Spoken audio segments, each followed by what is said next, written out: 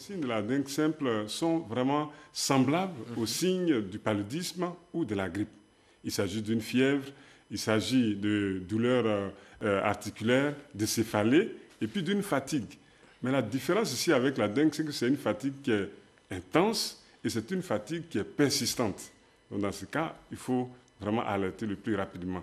Comme on n'a pas le vaccin pour l'instant et que le traitement n'est que symptomatique, la seule voie qui nous reste, c'est la prévention. Il faut éviter euh, de, de, stocker dans notre environnement tout récipient qui est susceptible de contenir de l'eau dans lequel vient pondre le moustique. Et en plus, il faut également vider régulièrement l'eau qu'on a dans, nos, euh, dans les pots de fleurs, dans nos maisons. Et puis surtout, il faut éviter de cultiver des arbres. Il ne faut pas céder à la panique. Deuxièmement, il faut que la population prenne le relais de cette opération pour qu'elle-même se l'approprie. Et ça, conformément au concept du ministre de la Santé et de l'Hygiène publique qui dit ma santé, ma vie.